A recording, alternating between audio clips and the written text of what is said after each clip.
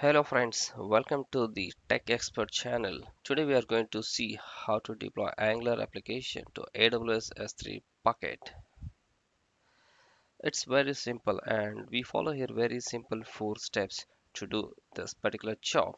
So very first step we'll be going to creating a, or building an Angular application which we are going to deploy and then later we move to AWS and then create an S3 bucket where we wanted to deploy this application and that S3 bucket will be going to configure in detail so that how it can act as a static web page hosting platform for our application and then we'll go and deploy and see the result. Let's get started without further ado. So first let me go to the uh, application. Uh, I just created an, a sample application which will be just uh, hosting an, an Angular hello world kind of an application. Uh, let's see, um, this is my application which I created as an example. So let me go to the terminal and open the new terminal and let me build this application and run this. So npm start will do that for me. So it will take a couple of seconds to build and uh, keep it runnable. So ng service is a module which will help us to uh, run this application on the server.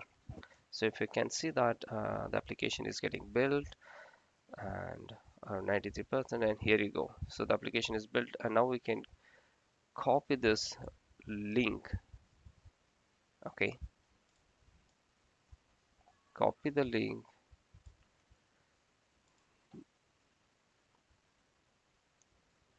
Go to the web browser and see how it looks. Here you go the sample application to demo the AWS S3 usage. So this is what I've built. So to cross check, let me go to the application and see the component, not the component. Let me check the HTML where I've updated C. So here you go, the sample application to demo the usage. So let me make some changes and see what happens. Here are the changes. When I save the file, you can see that the UI is updated. So we are good with the first step, which is having an application. So this application cannot be directly deployed without uh, building it. So we need to build this application with, with, before we use.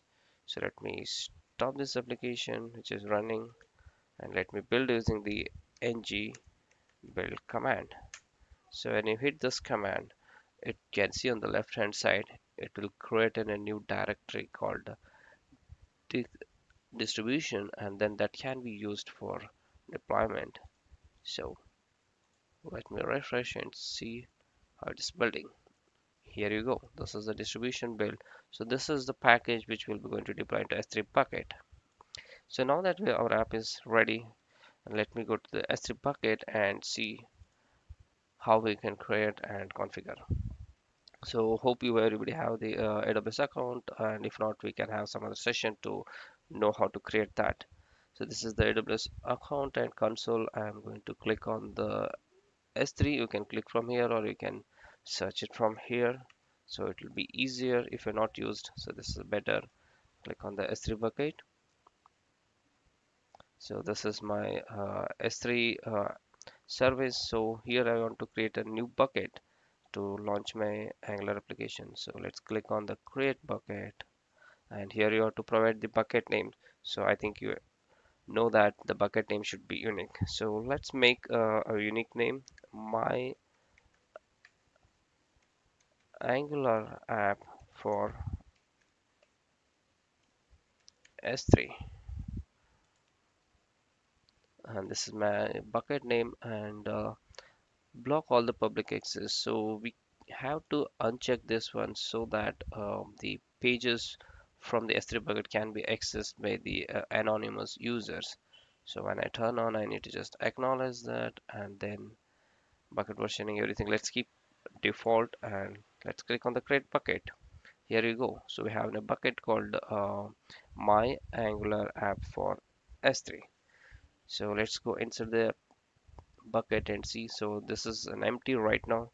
So let's bring our application files to this bucket so to bring that one from there to here so go to the samples and distribution list and sample and said that these are the applic application files generated after the ng build.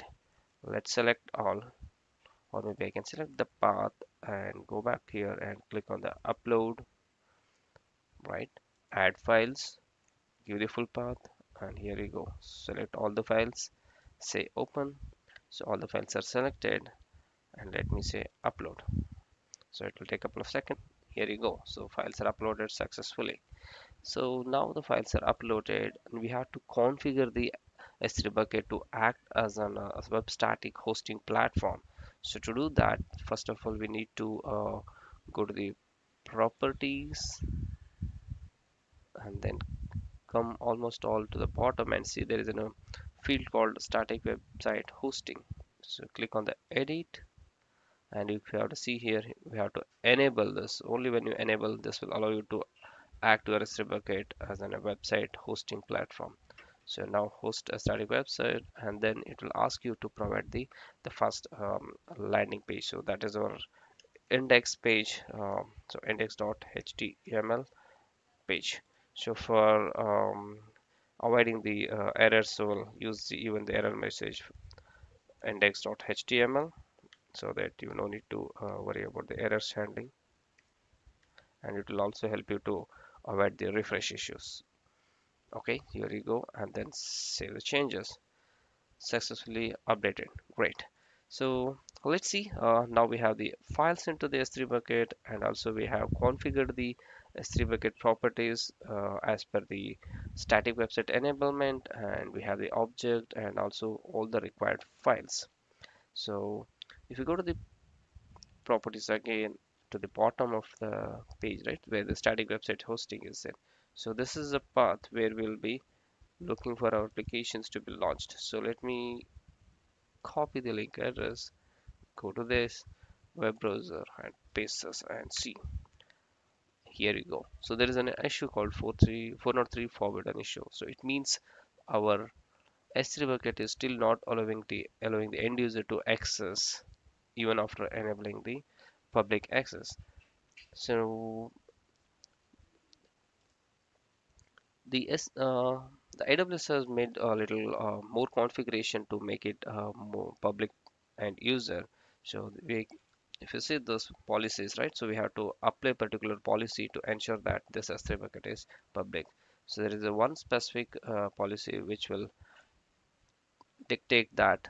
So it can be um, allowed to use um, the anonymous user. So here you go. So granting an read-only permission to the anonymous user. So this is the policy. We just need to copy this policy from here and go back to the s3 bucket and go to the permissions. Under the permissions uh, you can, if you see that the object can be public but we have to just apply the policy. So here is the bucket policy. So click on the edit policy and then paste this policy over here so this policy expect the bucket name to be updated. So let me copy my bucket name from here and then let me update over here. Okay so this is the policy um, and let me save the changes. So now that we have updated the policy and if you can see that the the uh, S3 bucket is now publicly accessible so if you see that uh, there is an uh, indication that the S3 bucket is now public so with this enabled let's refresh the page and see the behavior so hope uh, now the things yeah here you go so now we can see that sample application to demo the AWS S3, S3 usage is now launching from the AWS S3 bucket. So this was from the local host and this is from the AWS S3 bucket. So this is the entire journey of how do you launch the complete uh, Angular application into S3 bucket and how do you access, how do you give access to the end user through access permission. Thank you for watching the video and see you with the uh, next amazing video.